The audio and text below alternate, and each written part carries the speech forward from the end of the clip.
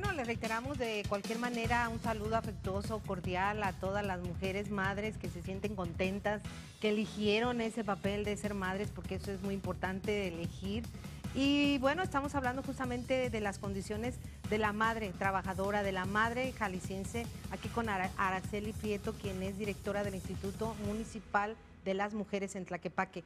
Araceli, bueno, a propósito de los institutos que son pues de reciente factura, o sea, por decir unos años, dime, este, ¿qué es lo que están cumpliendo? ¿Qué es lo que espera la mujer que nos está viendo de un instituto estatal primero y de los municipales? Sí, mira, en realidad las instancias de las mujeres se crean con un, propósito muy, muy particular. Y el propósito tiene que ver con el, el salvaguardar los, la integridad eh, de las mujeres que pueden estar en una, situación, en una condición de vulnerabilidad, en una condición de riesgo y que eso eh, las coloca en una, condición de desventaja. La instancia no va, por supuesto, a, a, ser la Madre Teresa de Calcuta, ni tampoco este, a, a ubicar una acción paternalista para que entonces a la mujer ya no se le haga nada. Las instancias de las mujeres sería como inclusive una posición muy asistencialista y me parece que en ese sentido para eso no fueron creadas las instancias de las mujeres.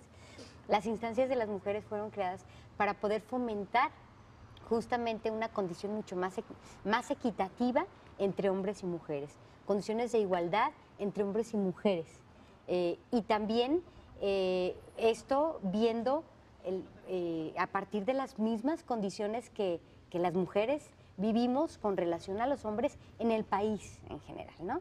Y en el mundo inclusive. Entonces, eh, frente a esto hay eh, derechos violentados, hay derechos vulnerados y entonces las instancias están para visibilizar una condición de las mujeres que está siendo oprimida, que está siendo reprimida. No estamos las instancias de las mujeres para procurar asuntos asistencialistas, ni tampoco estamos las instancias de las mujeres para, para, eh, dar, eh, para hacer acción o resolverles de inmediato los problemas de las mujeres que puedan estar, estar teniendo. Las instancias de mujeres hay dos líneas importantes que inclusive las Naciones Unidas son mujeres lo establece muy particularmente y esto tiene que ver con un asunto de política pública en donde el Estado está obligado a promover eh, los derechos de las mujeres salvaguardando la integridad de estos, en donde por supuesto la mujer pueda, eh, eh, pueda no ser oprimida, no ser violentada con sus derechos más básicos, como lo, como lo tenemos en nuestra Carta ¿no? Por ejemplo.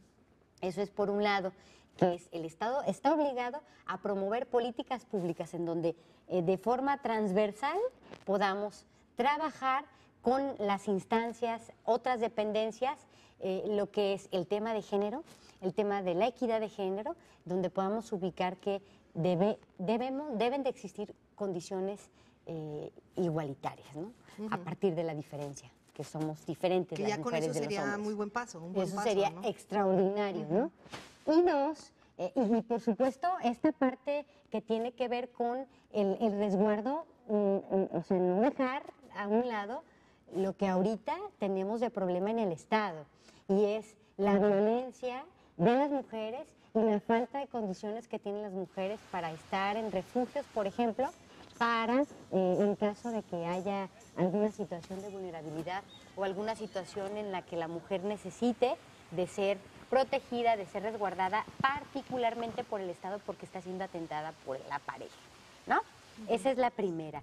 Y la otra, que no tendría absolutamente nada que ver con una cuestión asistencialista, sino todo lo contrario, poder promover y generar en las mujeres procesos de empoderamiento para que ellas mismas puedan contar con condiciones de autosuficiencia, de independencia en el asunto económico, en el asunto laboral, pues en el asunto de la salud, y que en esa medida pueda ella también este, eh, apropiarse de su propio cuerpo, de su propio pensamiento y de sus propias decisiones. Y en este tenor que hablas tú, dime eh, quién está haciendo ese trabajo. O Este, sea, el Instituto Estatal de las Mujeres lo está haciendo, el Instituto Nacional de las Mujeres, por ejemplo, está haciendo, estaba pugnando por ese empoderamiento de las mujeres. Yo creo que ha habido intentos importantes. No quisiera como este caer a una posición este eh, Negativa hoy no, por ser 10 de mayo. Yo creo que ha habido intentos muy importantes, muy importantes, pero, pero insuficientes. ¿no? Y me cuento, eh, como instancia de mujeres, me cuento, el Instituto de las Mujeres en Tlaquepaque tenemos un año, sin, hemos, eh, hemos logrado un montón de cosas, pero faltan muchísimas más, ¿no? Entonces, yo creo que hay muchas cosas que se tienen que estar trabajando en, en- en función de esto, ¿no? Eh, algo que, por ejemplo, eh, que me- tú sabes que a mí me ha tocado eh, trabajar con el- en el servicio público de, de diferentes maneras. este, los cambios de trienio, por ejemplo, eso viene a dar retrocesos impresionantes, en avances o, o pequeños logros que se puedan tener en relación al, al- al tema de las mujeres, ¿no? Sin embargo, O sea, aún nunca hay no puede seguimiento ser un tampoco en esto. Eh, es difícil, Sí. es difícil que, re- que realmente haya un, un seguimiento. Sin embargo, es un reto, pues. Es un, es, es un reto que debemos asumir como servidores públicos, ¿no? Es un reto que debemos asumir como servidores públicos en donde estamos para servir. Estamos, o sea, el pueblo, la ciudadanía nos paga a nosotros como servidores públicos y tenemos que servir a la gente, ¿no? En esas condiciones, mínimamente debemos de ofrecer lo mínimo indispensable que, que- que como municipio, como Estado, como federación, estamos obligados a la ciudadanía, ¿no? Entonces, eh, respetando los derechos inapelables, inaline- inalien- inalienables, eh, eh, eh, en donde también se nos exija a nosotras como instancias públicas eh, estos derechos, ¿no?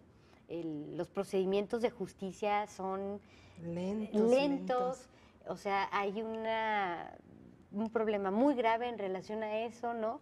Los procesos de, por eso mismo también eh, eh, las mismas mujeres han caído a la apatía de no, no a la denuncia, ¿no? Lamentablemente. Entonces, yo creo que este es un compromiso recíproco en donde, en donde así como pedi- pedimos a la ciudadanía que exijan, que, que- que levanten la voz, que conozcan sus derechos para entonces poder poner en la mesa lo más claro posible las cosas, también como instancias de gobierno tenemos la obligación y la responsabilidad de responder a situaciones y circunstancias que, eh, eh, que nos toca pues como instancias públicas, ¿no? pero de una forma coordinada. A ver, entonces dales el teléfono, por favor, del instituto, donde estás tú, donde eres directora. 3860-0486, 3860-0486. El Instituto de las Mujeres de Tlaquepaque tiene un año, tiene un año de vida y eh, es un organismo público descentralizado, no, no era, no existía en, en el municipio de Tlaquepaque. En este momento, para este año, el año pasado estuvimos trabajando con procesos de empoderamiento con la Secretaría del Trabajo para que las mujeres pudieran tener eh, recursos en términos de, de equipos eh, específicos para que tuvieran su propio negocio. Alrededor de dos millones de pesos se, se distribuyeron entre las mujeres de Tlaquepaque. Esto es recurso federal y estatal, pero desde la Secretaría del Trabajo. Y eh, para este año lo que tenemos a, a- a consolidar es justo este problema de la violencia, ¿no? Que tiene que ver con el acceso a la justicia.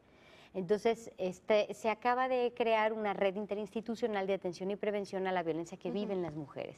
Tenemos la misión por un, una- un compromiso que también el presidente asumió este año, el 8 de marzo, de eh, eh, abrir un refugio para mujeres que viven violencia, porque lamentablemente hay muchas condiciones eh, limitadas O no hay para el condiciones. para para o no hay condiciones, ¿no? O condiciones no para todas las mujeres.